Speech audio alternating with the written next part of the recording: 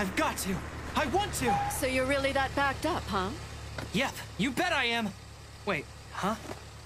Uh, hello, Monami. In that case, why don't you come here and I'll give you a hand? Give me a hand with what? Anything you want. I have no clue what you mean. There you go, acting innocent. Well, okay. Kai, I'm on my way to go shopping right now. Who's that woman?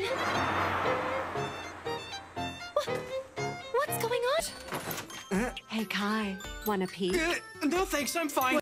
I'm going to take a shower. You can get something to drink if you'd like. Sure, thanks. Or, Huh? you want to hop in with me?